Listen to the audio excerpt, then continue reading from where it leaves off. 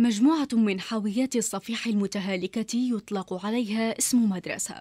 تفتقر إلى أبسط سبل التعليم وتقع على بعد أقل من عشر كيلومترات من وسط العاصمة طرابلس. مدرسة صلاح الدين الأيوبي بطريق المطار التابعة لمراقبة التعليم سوان بن يادم يعاني تلاميذها ومعلموها من انعدام الإمكانيات التي تسهل عليهم العملية التعليمية. مدرسة صلاح الدين الأيوبي ليست الوحيدة التي تعاني في المنطقة. فعلى بعد أكثر من 90 كيلومترا من العاصمة طرابلس يعاني طلاب مدرسة 17 فبراير الواقعة بمنطقة وادي الحي جنوب غرب طرابلس من انعدام البنية التحتية بالمدارس حيث لا تقيهم جدران المدرسة برد الشتاء ولا حرارة الصيف رغم الوعود من الجهات المختصة باستكمال مبنى المدرسة الجديدة المتوقفة منذ أكثر من 15 سنة. أنا يوم شفت مدرسة العربان اللي بنوها هذا بلوك. قلت الله يا ريتنا مدرستنا مبنية بلوك. إحنا صفيح. مدرسة صفيح نعانوا في وقت الشتاء. تخيل لدرجة إن أولياء الأمور متضايقين. أم تصب المطر نقولوا عطلة. يقولوا لنا علاش درتوا عطلة؟ لأن الصغار ما يقدروش يعني يجوا المدرسة التريلا أو المدرسة الصفيح يقطر يصب في المية. ثاني حاجة البركة الموجودة في الساحة هذه أول حاجة معاناتنا فينا في فصل الشتاء. والصغار يعني صغيرين.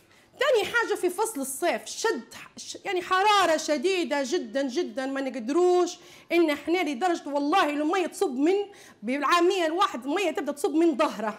وليس بعيدا عن مدرسة 17 فبراير تعاني مدرسة شهداء الخيار التي أنشئت بالمجهود الذاتي للسكان منذ أكثر من 25 سنة من افتقارها حتى للفصول الدراسية. وتعاني الطالبات من صعوبة الوصول إلى المدرسة بسبب انسداد الطريق المؤدية إليها عند سقوط الأمطار لبعدها عن الطريق المعبد أكثر من ثلاثة كيلومترات.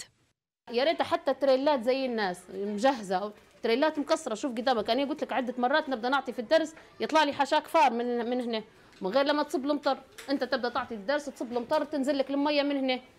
ضي ما فيش. مساحة زي الناس ما فيش. طابور صباحي ما نقدروش نديروه استراحة يطلعوا الصغار باش حتى ينفسوا على رواحهم شوية تصب المطر ندخلوهم نفس الشيء في الصيف. الصيف تجي هنا ما تقدرش حتى تتنفس.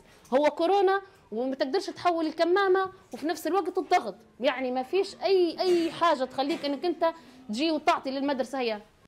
كذلك مدرسة بئر الغنم الغربية تعاني من انهيار أجزاء من مبنى المدرسة المتهالك الأمر الذي سبب إغلاق المدرسة فترة سقوط الأمطار ناهيك عن صغر حجم الفصول المدرسية التي لا تستوعب عدد الطلاب بالمدارس.